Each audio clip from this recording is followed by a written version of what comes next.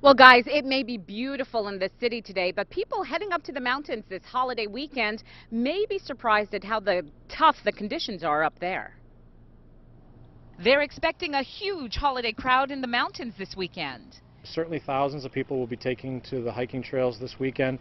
There will also be thousands of folks coming here to fish and camp.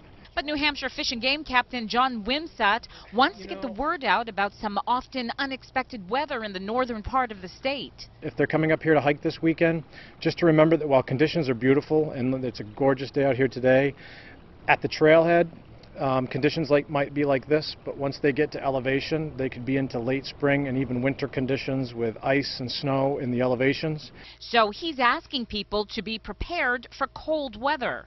People need to remember to bring extra clothing and food and water and a map and a compass. Fish and Game also wants to remind people to invest in a Hike Safe card. He says it's one of the best insurance policies they offer for people hitting the trails. that if a person purchases what is referred to as a hike safe card, which they can purchase online, they will be able that will help reimburse the cost of their rescues should that unfortunate incident occur. The Hike Safe card is $25 for an individual and $35 for a family.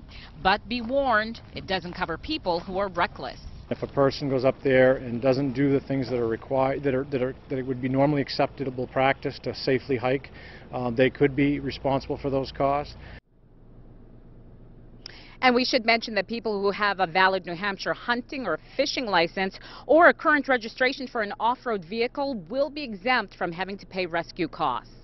Live in Concord, I'm Shelley Walcott, WMUR News 9.